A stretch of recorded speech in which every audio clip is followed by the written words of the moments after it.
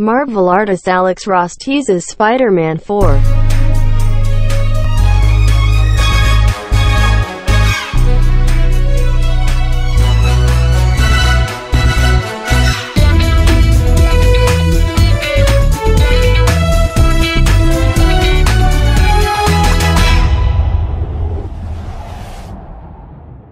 Update, Ross's painting below first appeared in the opening credits to Spider-Man 2 in 2003.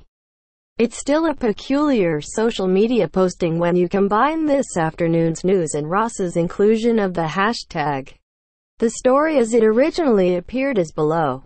Earlier today, Marvel released a teaser through their social media pages, seemingly teasing a new Spider-Man project. With the number 4 made out of spider's silk.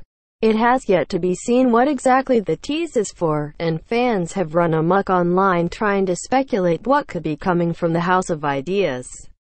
Some have tried convincing themselves Marvel would be publishing Sam Raimi's unproduced Spider-Man 4 in comic book form, while others seem to think it's going to be a crossover between Spidey and Marvel's first family in the Fantastic Four.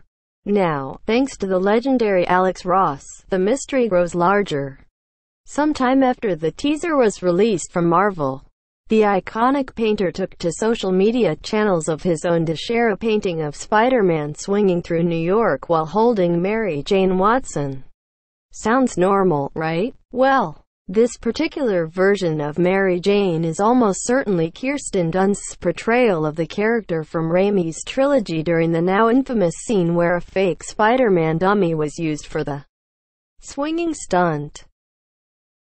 If you think back to 2007, Spider-Man 4 was in development at one point, reportedly courting actors like Anne Hathaway, Bruce Campbell, and John Malkovich to play Felicia Hardy, Mysterio, and Lizard respectively. That's all before Sony ultimately decided to reboot and go with Andrew Garfield and his Amazing Spider-Man franchise. Phew, that's a lot to unpack, right? Sure. It could all just be one big coincidence.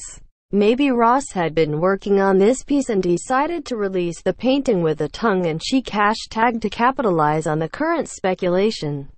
Or, Many of those fans are right in that Marvel Comics is giving Raimi his chance to tell his fourth Spider-Man story in the serialized format and Alex Ross has been tasked with painting the covers.